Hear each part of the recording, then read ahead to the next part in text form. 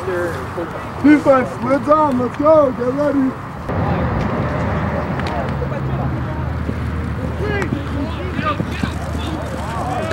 Well, it's a big matchup with uh, St. Joe's. Uh, they look to be uh, one of the favorites in our league there.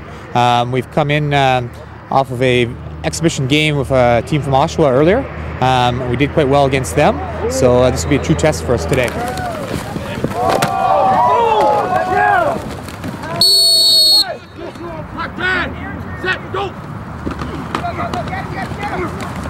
It's going pretty well. We uh, what are we down? Three touchdown scores.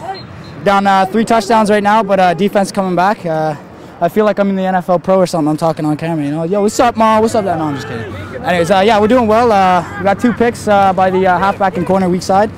Yeah, I think we're uh, we're gonna come back. We're gonna do well today.